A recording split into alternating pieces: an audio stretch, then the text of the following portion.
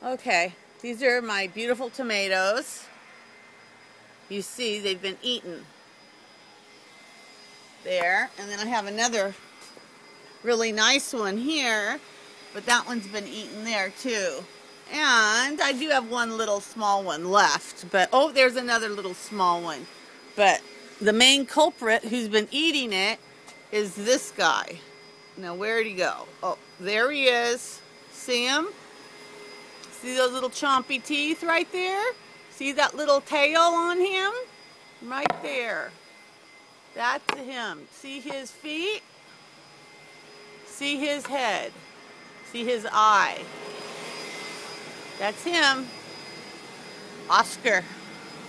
The hummingbird caterpillar.